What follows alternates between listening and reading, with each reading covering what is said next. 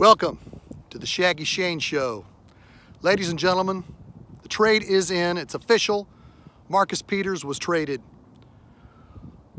for a fourth round draft pick in this year's draft and a second round draft pick in next year's draft. Bad freaking business for a stud corner, 25 years old, who's had no off the field issues, has been great in the community, and a great teammate. There better be, there better be some dirt that comes out on Marcus Peters by March 14th. The Chiefs can't discuss this deal until March 14th.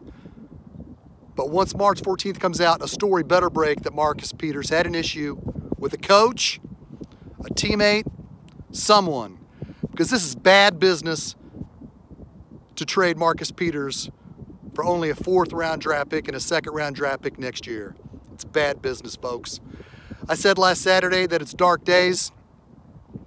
We got to look forward to the good times, and the, we got an awesome stud quarter franchise quarterback to look forward to. But it's bad business to give away a shutdown corner in his prime of his career.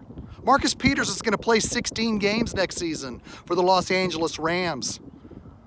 But back to my point, there better be dirt that's revealed on Marcus Peters March 14th because if this has anything to do with the national anthem, then what it's going to do going forward is it's going to set a precedent that you can't stand up for what you believe in.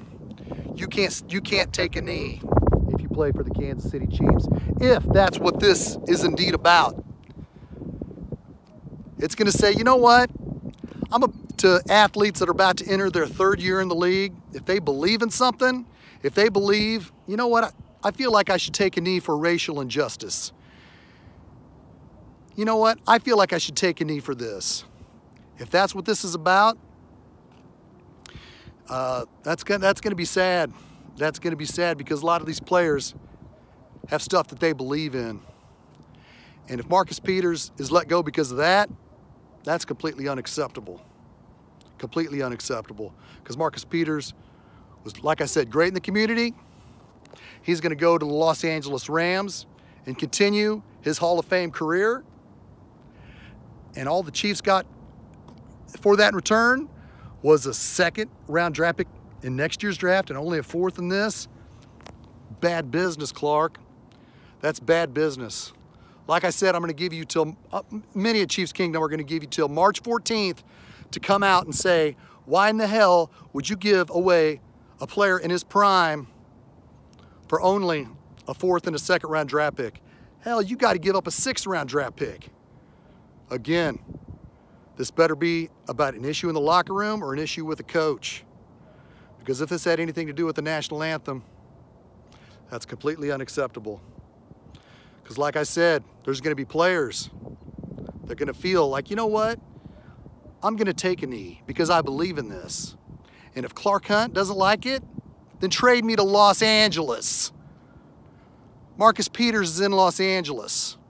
He's going to play all 16 games next year again.